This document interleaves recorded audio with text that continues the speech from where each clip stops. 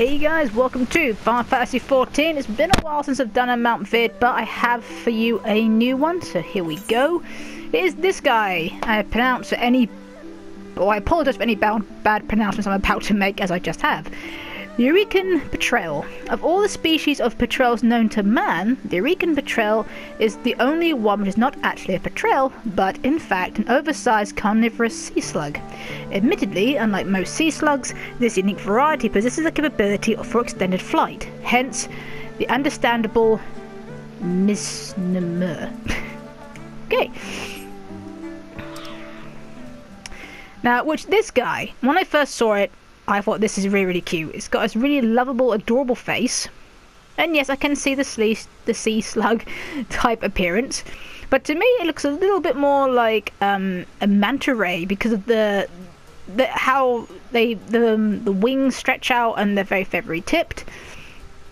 I think Petrel's a bird in real life, isn't it? I think. Call me crazy. I think it might be. So, but it's the colours. I love this. It has got that moisture look like it's glistening like it's just come out of the water.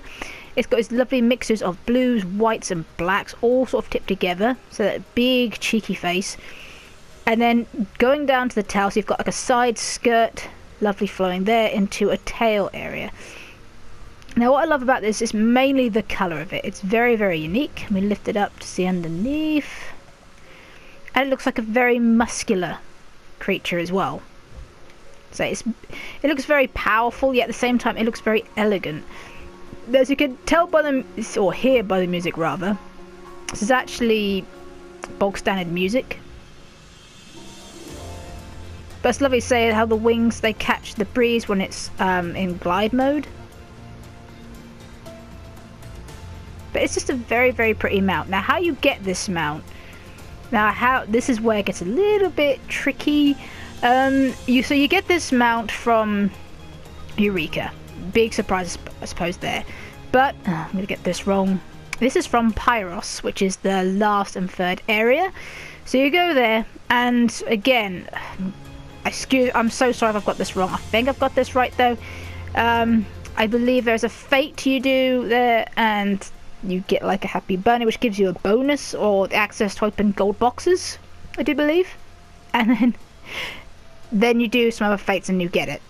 And then if you're lucky, you get it out of the box. Now, I'm aware someone's going to say, no, you're wrong, it's not. It could be a random loot drop, a lot like the Tyrannosaurus style mount was. If I am wrong, then I'm so, so sorry. I honestly thought that's how it was got. And the only reason why I'm assuming this is how it is gotten is because the amount of people who they never used to bother about the little rabbit fate because it was just not worthwhile for points. But then recently, everyone started doing it. And then not only that, a load of people are selling this now on the market board. Now, that's precisely how I got this. Okay, so you don't have to worry if you're not that far into the game. Uh, this one cost me 6 million gil to pay for this. This is actually cheapest. When it first came out, I think you were looking more about 20 million. So it has dropped quite a bit in price, as do most things. In fact, I do believe the mount that came out before then, the one's like um, a fiery yeti type looking one. I'm gonna try pronouncing that. That one actually costs two million more on the on the market board for me um, at the moment. So it just goes to show it just it depends on you know the craze what is like in most in need at the moment. Now one person he's selling six of these. So and it was the cheapest.